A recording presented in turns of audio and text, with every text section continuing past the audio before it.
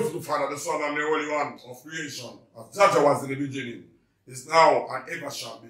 That we heard without end. Holy Emmanuel, I King Celestia, Jah, Rastafari, blessed and sanctified, God and clear. una kele nu mbarke sima ya konku yi anu sante ya nunga ke bebe na lagine funike bilme lagine miskini bilme muta nga fe bara na nyome sanyengi ka fe na malike sanyengi ya fe abara bu mu video ra facebook akɔsi mambarfa alako ngawɛ lakini population bimba langibe muto tukange mun tukange tukayi mununa mun tukange tukange fayinanna ala ka tukayira parce que wulemana bimba samu mabi lakini jina bene jina bene yuma kolo muta denere muta mereka su ala nenira mhm ibun saka su ala ira dunia bakange sanima aduba ndibima ala donc nta na ya masema lakini population birme mo ma fori ko mirne e biru fa amun tana na troisième mandat fe mun tana na na fi rabi na fi le mun tana be de nyanga ma de mun tana be de mi ribar ki fani anu la siri na mun tana be mbinya na mbini sa na gine ma anu la gine menge ma anu la gine sari ma avec tout mes respects professeur Alpha Condé mu wannan di fara ngurbe 92 ans avec qui ita mun ma fande imam bi présenté azali mwa mobali comme ça fait temps ina yesa wule fana la bolo rima di de rene set ma ina fana be siga siga siga c'est péri mais il est mumana di fana be di ça c'est la nouvelle génération nous on a des enfants ici on a des pères de famille a mon afara mon isu te nous boule puis mon amon de kan na détriment mon mona mon kan détruit ya fera ibore donsuma ne bi mbar faka ina bibe fi ala no wali amanga ndese yasi ma ya kumba mɛ i présente fɛn ta i y'a fɛ ni candidat wa yaki nana kɛlɛ kini ɲama de bɛ i n'a mugu tan kun si i n'a mugu kun si dɛ avec tout mes respects honorable chef avec tout mes respects dieu vivant parce que mɛnkɛ o mɛnkɛ ala n'a dɔn a fɔ pan a fɔ kobi ala n'a mɛnkɛ dɔgɔma n na faraba n ta mama ɲɔgɔn ɲin a nana na n ta muhammed mutar suma na ka na ŋunyi kui na ka mɔgɔ ye ma na ka ŋa ka ma n ta mu troisième mandat pe n ma sutoni ma n ma na faamuya ne yɛrɛ kiri k'e bi nugu bɛ yen fndc fndc ebiri nugundeli nta tuka manɛ ala ka tuka yira sɔrɔ feere ka tuka yira ala na fana i yo n de dɔ ma falen ade ala na fana i yo n de dɔ ma falen ade ala fɛn ɲɔgɔn adama fɛn kiri maa de i yo adama nu ala misali awo n da ka mani yɛn na da mɛ miki nu ala bori ma ma la kɔta gbɛgbɛ miki fini ma dɔgɔ na professeur alpha kɔnte yɛrɛ ka ti jɛ ka wɔma yɛn de wo yi ba wo president tɛ fɛ ka di election ala gɛlɛn bi bɛ bi ni sábà de bɛ taa. wo kɔnɔ kolon wo ma kolon a taga na kide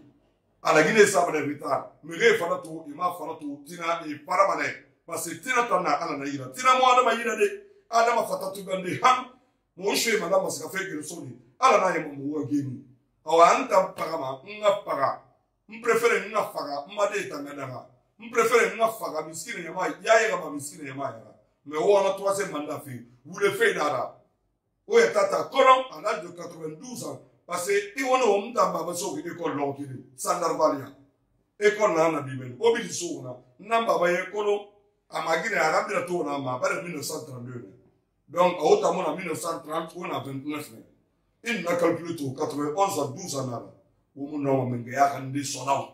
menge ya yala nyinara haka num fatiha kende wo bara fori wo tala lamasongo wo barka samu wo tanga wo barka sama madema wala gine dibe de la mo fayde la wala ni so munyi la wala ni kira wama pe me gina han dibe di wona karama na tangal di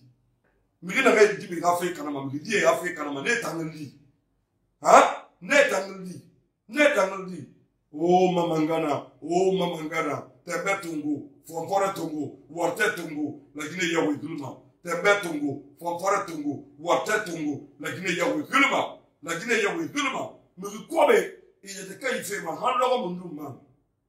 wa falamigi ko be bɛ yena ne yɛrɛ ka bɔyɛ ma ala mu nana ala y'a hmm. ah, ah, ah, nana a tubi nana a dɛ nana a wɔyɛ ma iyo miri na ka y'a so wo nyira da wi bara de awo ma tɔrɛ to miri na ka tubi so wo nyira tulugɔni mara de awo wa wi bɛ fe awo ni wa wi bɛ fe a sadina kinara nek fo ka sadina gine population yɛrɛ ni amara la gine population langi amara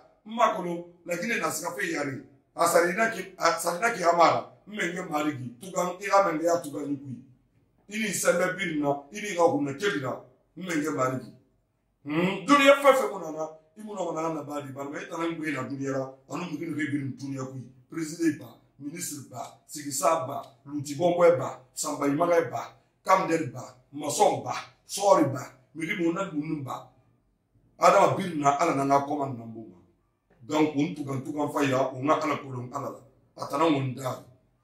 professeur alpha conde i 91 ans na rek ou bien 12 ans i mun nɔgɔ finde la gine bɛn kɛra sɔgɔn de troisième mandat fi o i b'a nara voilà a nana ŋun na wa ye ma i b'a fɔ n faga fi fa n faga ba n ni ni tana yira fa n faga ani n ta baara fɔlɔ mɛ n ta vivre mana cent ans n ta oui n vivre mana cent ans oui n vivre mana cent ans n vivre ma cent ans yon ala ka mengeya sɛbɛra na miya mɛ sɛgɛn mɛ wɔrɔ ne barikara lakari nu nani bɛ na sɛbɛra aksu nu ani sababa tekele haimanot wezoro yashimabet ani ababa jafin abuna petros ina angel babagar sabada sa milu sɛgɛn sɔrɔbara nege siga tantu na gbiri de sokote ni mengema etiopi ja wasafara. mikisaniyanga ibiri kɔrɔbɛra ani barikara nɛgɛ tɛni sunbuya n bɛ mayi ni mama ye hɔrɔmɛ ne barikara sɔrɔ fɛnɛ kun tun sɔrɔ hɔrɔmɛ na barikara n b'a ka sɔrɔ fɛnɛ dɔn sɔrɔ hɔrɔmɛ na wa barikara a fure fan kasa gbɛra n b'i fɛ mɛnɛ san tan fo ka sari mun kan ni baba bi ɲa fo ka sari mun baribo de y'a bi ɲa fo ka sari mun tare bi ɲa fo ka sari mun yɛrɛ tan kan fo ka sari mun e bɛ na adamaden bi ɲa asare nak nar net ndiwe mane santan nondi fala barma alan dagne ngami sene die ni ratanga ngaya ye be yara yo ngaya ye bakir die yara asare nak nar net anamboye mana kine ngwa nga fan han ko ngwa ba mbore adam di nga fan ngwa ba mbar bore ko fan ngwa ma ndo bore ko fan miskire yama ga ruti na ngaruti ala ka kibanira mbar bore ga ruti na ngaruti ala ka kibanira nyamana nga zan tiri na nga zan tiri ala ka kiba nyira jo rasafara ayi salasi ya menga singi ya rumenga donga black africa monzayo cut it off